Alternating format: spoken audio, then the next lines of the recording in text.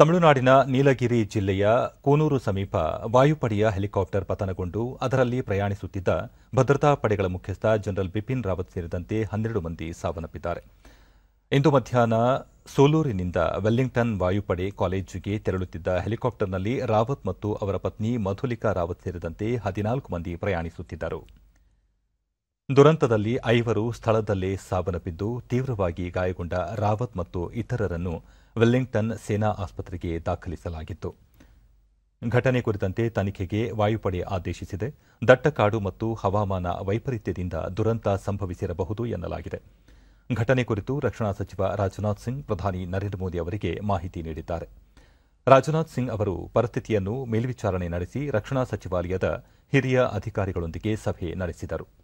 ರಾವತ್ ಅವರ ಮನೆಗೂ ಭೇಟಿ ನೀಡಿದ ರಾಜನಾಥ್ ಸಿಂಗ್ ಕುಟುಂಬದವರಲ್ಲಿ ಧೈರ್ಯ ತುಂಬಿದ್ದರು. ಘಟನಾ ಸ್ಥಳಕ್ಕೆ ವಾಯುಪಡೆ ಮುಖ್ಯಸ್ಥ ವಿಆರ್ ಚೌಧರಿ, ತಮಿಳುನಾಡು ಮುಖ್ಯಮಂತ್ರಿ ಎಂಕೆ ಸ್ಟಾಲಿನ್ ಭೇಟಿ ನೀಡಿ ಪರಿಶೀಲಿಸಿದರು.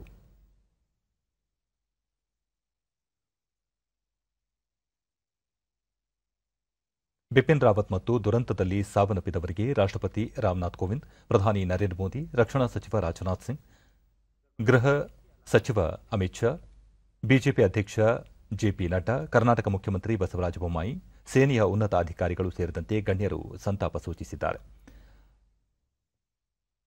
ರಾಮನಾಥ್ ಕೋವಿಂದ್ ಟ್ವೀಟ್ ಸಂದೇಶದಲ್ಲಿ ದುರಂತದ ಕುರಿತು ದಿಗ್ಭ್ರಮೆಯಾಗಿದೆ. ರಾವತ್ ಅವರ ನಿಧನದಿಂದ ರಾಷ್ಟ್ರ ತನ್ನ ಶೌರ್ಯವಂತ ಪುತ್ರನನ್ನು ಕಳೆದುಕೊಂಡಂತಾಗಿದೆ.